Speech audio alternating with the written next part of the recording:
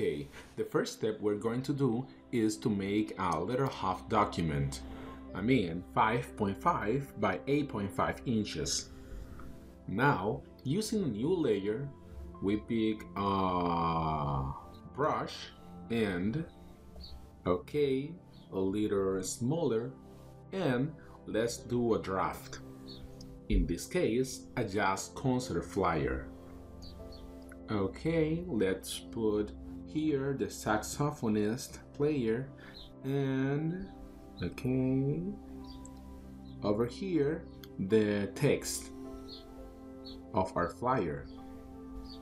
Okay when we have done our sketch our draft let's start by uh, decrease the opacity and name this layer as draft now let's print the jazz's image and uh, put the document into views and drag it to our flyer. Close it move it here and increase the size and put like our sketch. Let's rotate it a bit. Okay okay and then move it right here. And I think mm, okay increase a little bit. And okay. Now we need our background black. So select the layer background and uh, pressing Alt and backspace we paint the background with the foreground color.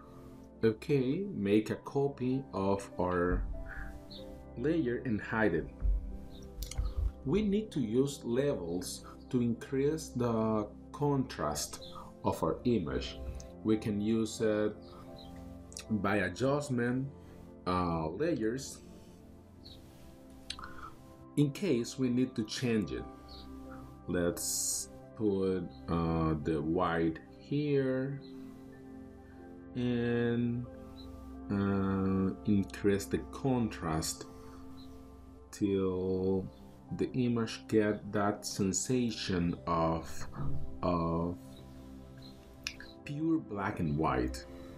Let's join merge these two layers command E and do the same thing to the copy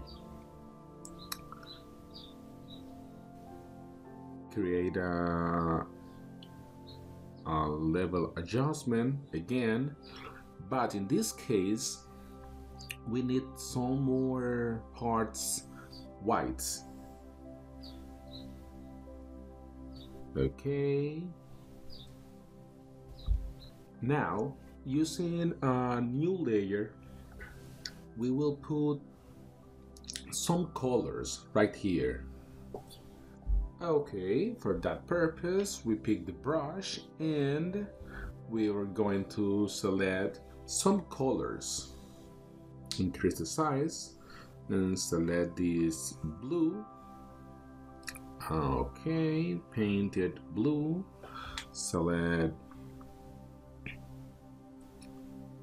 this area. Now pick another color, orange for the saxophone. And pink red pink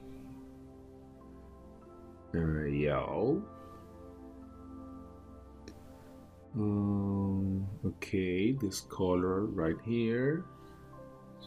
Uh, what else? What else?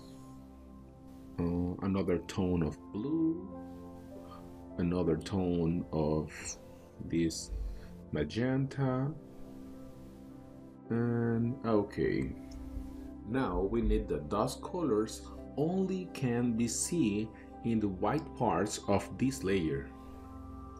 To do it we need to change the blending mode to multiply. With this we hide the colors on black parts and only can be seen on white parts now we could add some more details.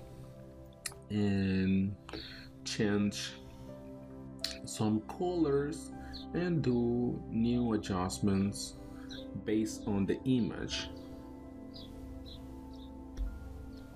okay the hands and yeah, let's put blue and